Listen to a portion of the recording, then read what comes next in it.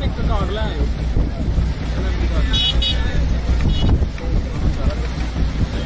Message ਪਾ ਦੇ ਜਾ ਕੇ ਮੈਸੇਜ ਕਰ ਲੈ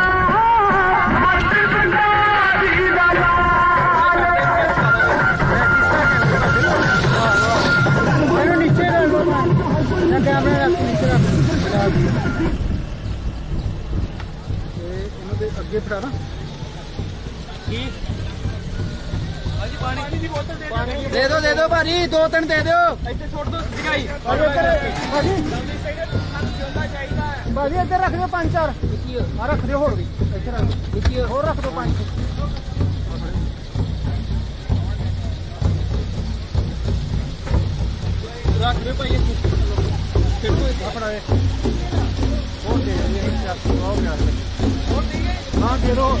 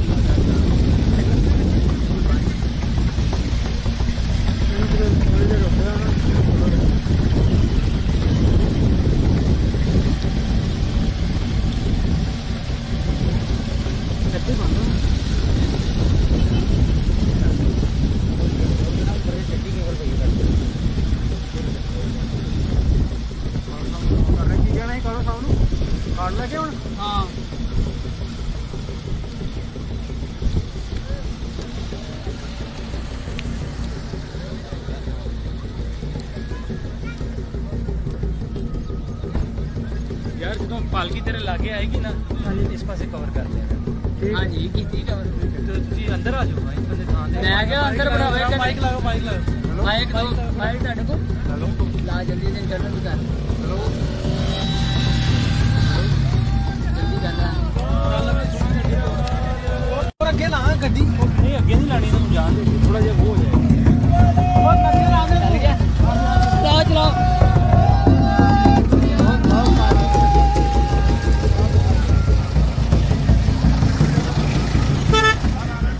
ਲਓ ਜੀ ਤੁਸੀਂ ਵੇਖ ਸਕਦੇ ਇਸ ਵੇਲੇ ਪਾਕਿਸਤਾਨ ਦੀ ਸਰਜ਼ਮੀਨ ਤੋਂ ਪਾਕਿਸਤਾਨ ਦੀ ਧਰਤੀ ਤੋਂ ਜਿਹੜਾ ਨਗਰ ਕੀਰਤਨ ਸਜਿਆ ਸੀ, ਉਹ ਜਾ ਰਿਹਾ ਹੁਣ।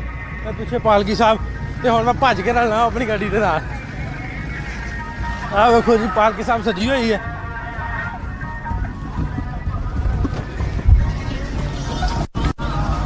ਤੇ ਮੈਂ ਆ ਗਿਆ ਹੁਣ ਨੱਸ ਕੇ ਗੱਡੀ ਦੇ ਵਿੱਚ, ਤੇ ਲਾਈਵ ਸਾਡਾ ਚੱਲੀ ਜਾਣਾ। ਤੁਸੀਂ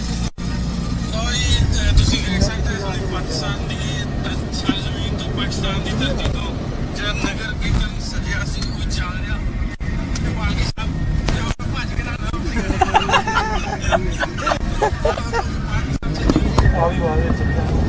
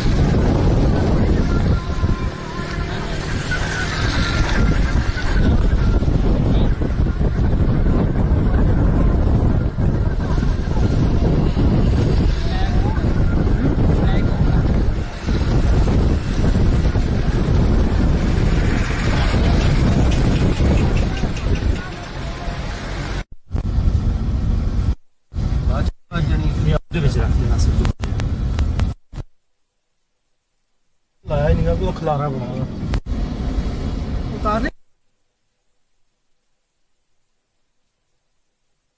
ਰਖਵਾ ਗੱਡੀ।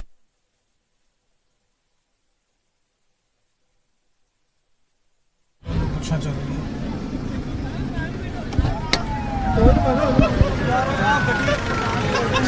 ਗੱਲ ਆ?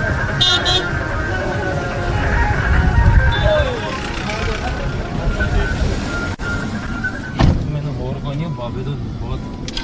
ਉਹ ਨਹੀਂ ਕੋਈ ਗੱਲ ਠੰਡਾ ਅਸਾ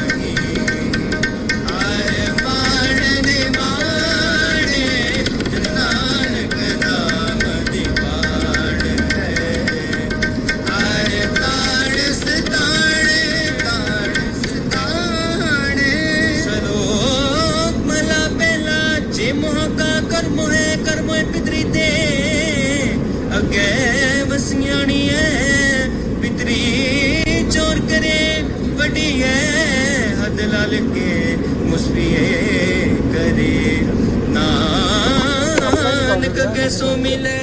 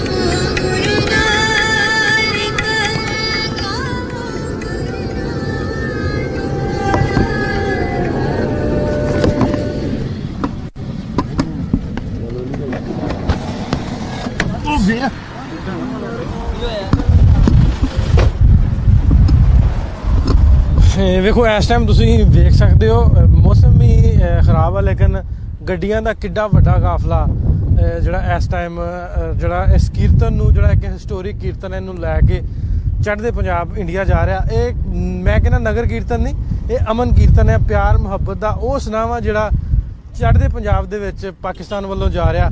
ਹੋਪਫੁਲ ਇਸ ਤਰ੍ਹਾਂ ਦੇ ਗੈਸਚਰ ਇਸ ਤਰ੍ਹਾਂ ਦੇ ਵੀਡੀਓਜ਼ ਦੇ ਰਾਹੀਂ ਆਪਾਂ ਇਹਨਾਂ ਦੋਵਾਂ ਮੁਲਕਾਂ ਨੂੰ ਜੋੜਾਂਗੇ ਇੰਟਰੈਕਟ ਕਰਾਂਗੇ ਇੱਕ ਦੂਜੇ ਦੇ ਨਾਲ। ਪਿਆਰ, ਮੁਹੱਬਤ, ਅਮਨ ਦਾ ਇੱਕ ਵਧੀਆ ਸੁਨਾ ਜਿਹੜਾ ਵਾ, ਐਸ ਅਮਨ ਕੀਰਤਨ ਦੀ ਰਾਹੀਂ ਪੂਰੀ ਦੁਨੀਆ ਤੱਕ ਪਹੁੰਚ ਰਿਹਾ। ਇਹ ਪਾਲਕੀ ਸਾਹਿਬ ਜਾ ਰਹੀ ਹੈ, ਕੇਬਲ ਕੈਟ ਸਾਰਾ ਗੱਡੀਆਂ ਦਾ ਕਾਫਲਾ, ਇਸ ਵੇਲੇ ਤੁਸੀਂ ਵੇਖ ਸਕਦੇ ਹੋ। ਤੇ ਆਓ ਚੱਲਦੇ ਅੱਗੇ, ਬਾਕੀ ਦੇ ਤੁਹਾਨੂੰ ਵਿਖਾਉਨੇ ਆ ਸਾਰਾ ਰੂਟ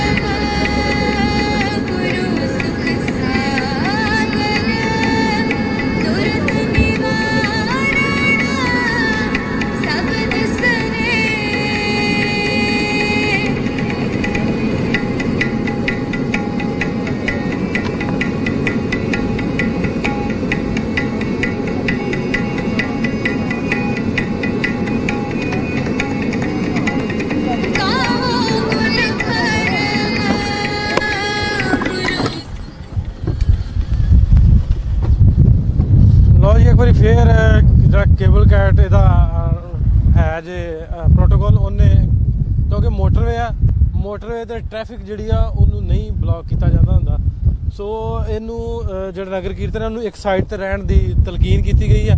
ਮੇਰਾ ਸ- ਰੁਮਾਲ ਵੀ ਸਿਰ ਤੋਂ ਲੱਥ ਗਿਆ। ਤੇ ਅੱਗੇ ਮੀਂਹ ਪੈਣ ਡਿਆ ਬੜਾ ਜ਼ਬਰਦਸਤ। ਹੋ ਸਕਦਾ ਸਾਡਾ ਲਾਈਵ ਬੰਦ ਹੋ ਜੇ।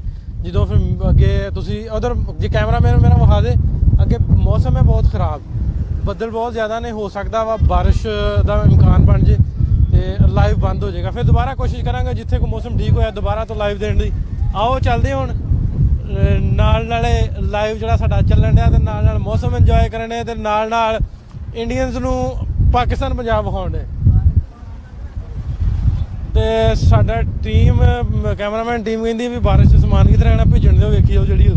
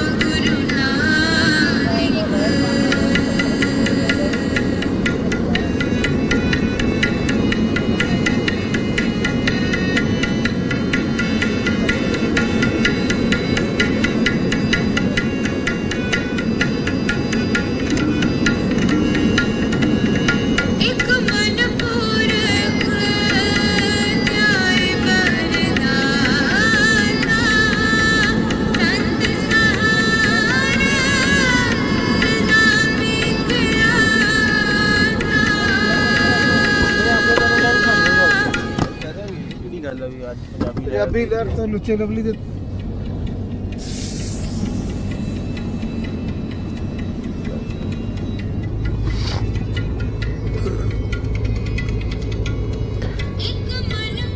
ਜਗਤ ਗੁਰੂ ਸ੍ਰੀ ਗੁਰੂ ਨਾਨਕ ਦੇਵ ਜੀ ਦੇ 550 ਸਾਲਾ ਪ੍ਰਕਾਸ਼ ਗੁਰਪੁਰਬ ਸਰਪਤ ਸ਼੍ਰੋਮਣੀ ਗੁਰਦੁਆਰਾ ਪ੍ਰਬੰਧਕ ਕਮੇਟੀ ਵੱਲੋਂ ਕੱਲ ਤਰਨ ਗੁਰੂ ਨਾਨਕ ਆਇਆ ਸ਼ਬਦ ਗੁਰੂ ਯਾਤਰਾ, ਜੋ ਕਿ ਗੁਰਦੁਆਰਾ ਜਨਮ ਸਥਾਨ ਸ੍ਰੀ ਨਨਕਾਣਾ ਸਾਹਿਬ ਤੋਂ ਖਾਲਸਾਈ ਜਾਹੋ ਜਲਾਲ ਦੇ ਨਾਲ ਆਰੰਭ ਕੀਤੀ ਗਈ ਹੈ। ਸ੍ਰੀ ਗੁਰੂ ਗ੍ਰੰਥ ਸਾਹਿਬ ਜੀ ਦੀ ਛਤਰ ਛਾਇਆ ਤੇ ਪੰਜ ਪਿਆਰਿਆਂ ਦੀ ਅਗਵਾਈ ਹੇਠ ਅਰਦਾਸ ਉਪਰੰਤ ਆਰੰਭ ਹੋਈ ਇਹ ਸ਼ਬਦ ਗੁਰੂ ਯਾਤਰਾ। ਇਸ ਵੇਲੇ ਲਾਹੌਰ ਤੋਂ ਵਾਗਾ ਦੇ ਲਈ ਰਵਾਨਾ ਹੋ ਚੁੱਕੀ ਹੈ। ਤਸਵੀਰਾਂ ਤੁਹਾਡੇ ਸਾਹਮਣੇ ਨੇ। ਵੱਡਾ ਕਾਫਲਾ ਜਿਹੜਾ ਨਗਰ ਕੀਰਤਨ ਦੇ ਵਿੱਚ ਸ਼ਾਮਲ ਹੋਇਆ ਬਹੁਤ ਉਤਸ਼ਾਹ ਦੇ ਨਾਲ ਜਿੱਥੇ ਭਾਰਤ ਦੇ ਵੱਖ-ਵੱਖ ਸ਼ਹਿਰਾਂ ਤੋਂ ਇਸ ਨਗਰ ਕੀਰਤਨ ਵਿੱਚ ਸ਼ਮੂਲੀਅਤ ਕਰਨ ਦੇ ਲਈ 500 ਦੇ ਕਰੀਬ ਸੰਗਤਾਂ ਦਾ ਜੱਥਾ ਪਹੁੰਚਿਆ ਸੀ ਉੱਥੇ। ਪਾਕਿਸਤਾਨ ਦੇ ਵੱਖ-ਵੱਖ ਸ਼ਹਿਰਾਂ ਤੋਂ, ਵੱਖ-ਵੱਖ ਖੇਤਰਾਂ ਤੋਂ ਵੱਡੀ ਗਿਣਤੀ ਵਿੱਚ ਸਿੱਖ ਸੰਗਤ, ਸਿੱਖ ਬੀਬੀਆਂ ਇਸ ਨਗਰ ਕੀਰਤਨ ਵਿੱਚ, ਇਤਿਹਾਸਿਕ ਨਗਰ ਕੀਰਤਨ ਵਿੱਚ ਸ਼ਮੂਲੀਅਤ ਕਰਨ ਦੇ ਲਈ ਪਹੁੰਚੀਆਂ ਨੇ। ਬਹੁਤ ਉਤਸ਼ਾਹ ਦੇ ਨਾਲ ਔਰ ਇਸ ਵੇਲੇ ਨਗਰ ਕੀਰਤਨ ਨੂੰ ਵਾਘਾ ਤੱਕ ਛੱਡਣ ਲਈ ਵੀ ਬੜੀ ਵੱਡੀ ਗਿਣਤੀ ਵਿੱਚ ਪਾਕਿਸਤਾਨ ਦੀ ਸਿੱਖ ਸੰਗਤ ਨਗਰ ਕੀਰਤਨ ਦੇ ਨਾਲ ਜਾ ਰਹੀ ਹੈ ਔਰ ਇਸ ਇਤਿਹਾਸਿਕ ਨਗਰ ਕੀਰਤਨ ਦੇ ਲਈ ਖਾਸ ਤੌਰ ਤੇ ਬਾਬੇ ਨਾਨਕ ਨੇ ਮਿਹਰ ਕੀਤੀ। ਮੌਸਮ ਬਹੁਤ ਖੁਸ਼ਗਵਾਰ ਹੋਇਆ ਹੈ।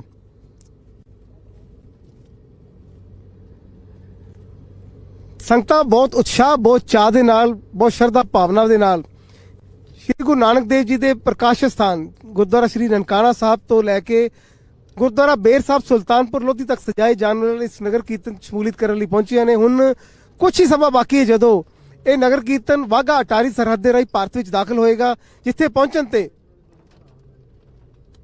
ਵੱਡੀ ਗਿਣਤੀ ਵਿੱਚ ਧਾਰਮਿਕ, ਰਾਜਨੀਤਿਕ, ਸਮਾਜਿਕ ਸ਼ਖਸੀਅਤਾਂ ਅਤੇ ਪੰਜਾਬ ਭਰ ਤੋਂ ਪਹੁੰਚੀਆਂ ਸੰਗਤਾਂ ਵੱਲੋਂ ਬਹੁਤ ਉਤਸ਼ਾਹ ਦੇ ਨਾਲ ਇਸ ਨਗਰ ਕੀਰਤਨ ਦਾ ਜ਼ੋਰਦਾਰ ਸਵਾਗਤ ਕੀਤਾ ਜਾਏਗਾ।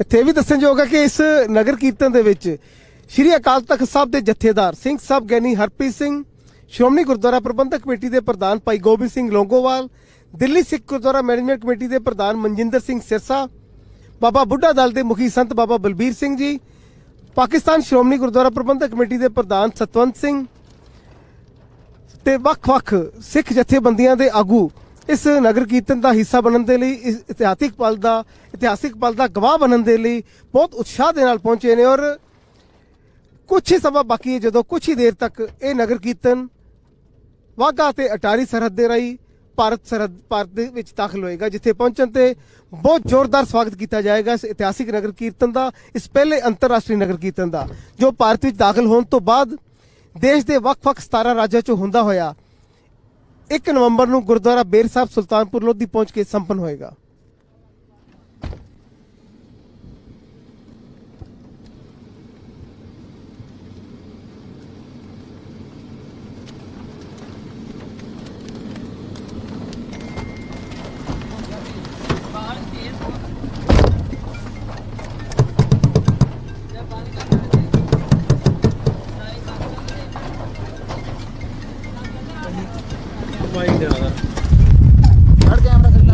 ਨਾਜ਼ਰੀਨ ਤੁਸੀਂ ਇਸ ਵੇਲੇ ਵੇਖ ਸਕਦੇ ਹੋ ਕਿ ਬਾਰਿਸ਼ ਜਿਹੜੀ ਤੇਜ਼ ਹੋ ਗਈ ਸੀ, ਤੁਸੀਂ ਪੰਜਾਬੀ ਲਹਿਰ ਚੈਨਲ ਦੀ ਰਾਹੀਂ ਪੂਰੀ ਦੁਨੀਆ ਦੇ ਨਗਰ ਕੀਰਤਨ ਵੇਖ ਰਹੇ ਸੋ ਮੀਂਹ ਜ਼ਿਆਦਾ ਤੇਜ਼ ਹੋਣ ਦਾ ਕਰਕੇ ਆਪਾਂ ਲਾਈਵ ਫਿਲਹਾਲ ਬੰਦ ਕਰ ਰਹੇ ਹਾਂ ਤੇ ਥੋੜੀ ਦੇਰ ਤੱਕ ਜਿਵੇਂ ਹੀ ਮੌਸਮ ਠੀਕ ਹੋਏਗਾ ਕੋ ਬਾਰਿਸ਼ ਬੰਦ ਹੋਏਗੀ, ਦੁਬਾਰਾ ਤੋਂ ਲਾਈਵ ਦੇਣ ਦੀ ਕੋਸ਼ਿਸ਼ ਕਰਾਂਗੇ। ਰੱਬ ਰੱਖਾ।